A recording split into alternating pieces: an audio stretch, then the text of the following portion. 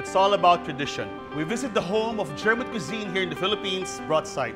We talk about old-fashioned Chinese home cooking at a hotel in Makati's hipster district, the Poblacion. And we talk about fine dining. It's not as formal as it was before, but still as delicious at Flame at the Discovery Primea. All that and more in this episode of Let's Eat Frost.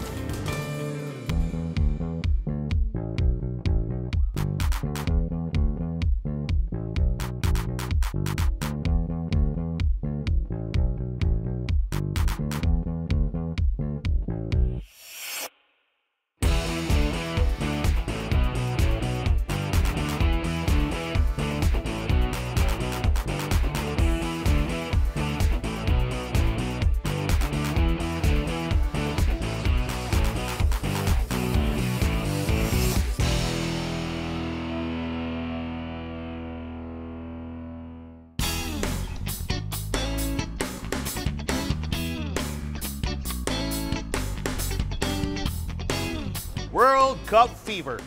What better place to watch the matches than here at Brotzeit, whose cuisine features that of the defending champions, Germany.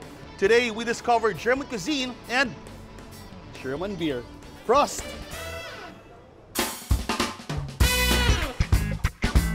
The distance between the Philippines and Germany is over 10,000 kilometers. But here, in Brotzeit, with one bite, with one sip, it'll bring you instantly to Oktoberfest. This international franchise is now all over Asia, from China to Australia and now Manila. My new friend, Chef Wolfgang, flew in all the way from Singapore just to show us how to cook Brotzeit's signature dish, the tastiest, crunchiest pork knuckles ever. We have import beer from Germany. We have our own spice mix. And then of course, what we do is we mix the beer, we mix the spices. And then we have here already the ready mixed one for our pork knuckle. You see here, very beautiful meat, nicely cut. So what you do is you take your mix, then you take your knuckle, you put the mix on it, and then you massage it in. And then we are marinating it for 24 hours in the fridge before we are roasting it. And then you see we are only putting it on both of the side where is the meat in the thing. And then what we do is we are putting it up nice straight, letting it rest. Then what is very important is because it's moist. When you have a moist skin, it, not, it does not get crispy. You need to dry the skin and then you bake the final stage is the baking of the skin. And it is very important to get a nice crackling because like Germans, like Philippines, we love pork. We, pork is something oh, awesome, like the sisig, you know. Very important is you have the crunchiness, the crispiness of the skin. After marination, we have already roasted the first stage, and then we have the beauty of the pork knuckle. First stage from the oven, we take it out, we let it cool down. Now what I do is I take a knife, a nice sharp knife, and I cut the skin nicely. And this one makes a very big difference when you when you uh, make the crackling. And you see, I don't cut through the meat, you know. I only cut the skin. You see here we have the straight cuts and then to make it easier later to crackle it, we make one nice across one cut. Nicely around. See, and when you have it, your first cook, it's easy to cut. And then of course, when you cut all of them, the most important thing is later when we when we cook them again, we put them back in the oven, we put beer. We put it in the oven and then this one is the outcome. Beautiful, nicely roasted. But this is not the finished product. The finished product I will show you later outside in the restaurant. The nice, crunchy, crispy skin, you know. Let's go through the items here one by one. This is a platter, this is a feast. What do you call this? Okay, this is the Brotzeit platter. Okay. Uh, and then the feast is, what is very important for us is, is bring people together. Yeah. Food brings people together. And then what we have is sharing is caring. The spices are all imported from, from Germany. Okay. They follow very strict the, the regulations. There are no fillers in the things. There's 100% meat inside.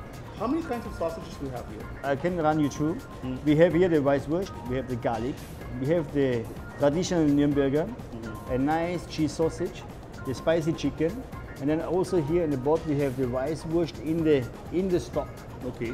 And then of course over here we have the lamb sausage. The lamb sausage. So it's a the lamb sausage. quite nice variety of different types of proteins, chicken, veal pork mix, pork mix with cheese and lamb. Whenever I'm here at Brotzeit, more often than not, I, also have to this. take I order. a- yeah, you're jealous now. I order a Paternoster burger and a beer, and, and I'm happy, right? Uh, what do you have this with traditionally? Okay. Do you have this with potato, sauerkraut?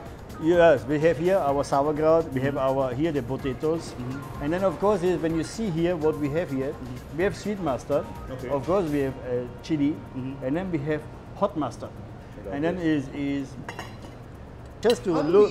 Yeah, just I just want to explain to you. Yeah. When you see it comes in the broth, and then also is what is the very interesting part is I love it. They're whole they're, they're they're actually leaves.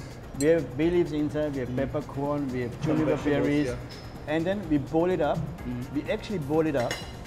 Then after boiling, we add in the sausage Mm. by 80 degrees, and it's 12 minutes. Okay. There are some ways is you cut off here, Okay. you cut it off here, then you put it in your mouth and you suck it off. So you, Yeah. it's almost like squeezing And then the you, you're squeezing the nice things outside, the, the nice thing. Demonstrate it for the camera. Yes. So I'm just squeezing it gently, not forcing the issue at all, and it pops out. It pops out. So it's a beautifully, perfectly cooked sausage. So no casing, just the No tender. casing, just You've the got inside. the herbs, you've got the spices, and where do I where do I dip it? in the in the in the, in the Sweet. sweet mustard. Good. We both love pork. We both love our beer.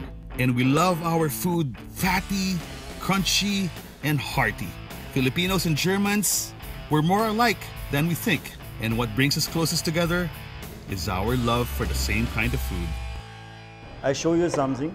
This is the So this gravy is to something it. very traditional. This is very traditional. Mm-hmm. And then we also have the pork ribs. The pork ribs, they are nicely roasted in an oven. And what we have is we have a Bavarian honey glaze. A Bavarian honey glaze. Honey glaze. The big problem is a lot of people use brown sugar. Right. They're using a lot of sugar. And then you don't know how many calories you dump in your body. Okay. What we do is we actually making a healthy version Oh, out it's of healthier. it. It's much more healthier, much more. It's not we are using honey. We're Okay. using honey. Know? Okay. And then, of course, here the good part is you don't need to import the honey uh, from Germany Oh, we have because you have in the Philippines, awesome yeah. uh, honey in the Philippines. Right. And this one coming to the key point, the Schweinshaxe. This one is I always call it the sound of Brotzeit. What you do is you just take this one, you move it up, you turn here, you see how this goes, and you just pull it up. You see this ah. one, and this is a sign you perfectly cook knuckle. You know, Nothing sticks to nothing it. right? sticks on it, and you see it comes out smooth. Clean You know. and smooth. And then the next one is you just make one cut here, you turn the second one. Okay. You see, you, see, you put, Now- turn the whole thing out. all the tender. Yes, the meat, the everything. And then this is the nice thing where you can showcase actually to all the people you know how to you eat German food.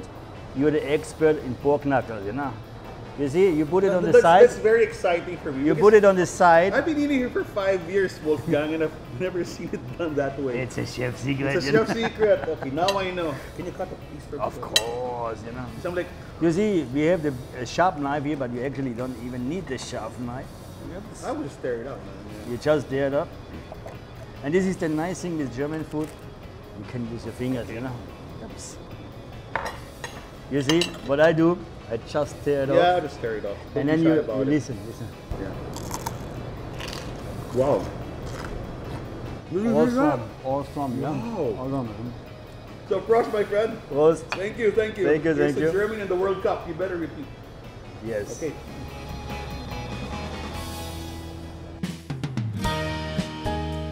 Sharing is caring, as Chef Wolfgang loves to say. And even though German food is very different from Filipino food, both are best enjoyed when they're shared and enjoyed with family and friends. Cheers, mabuhay, prost!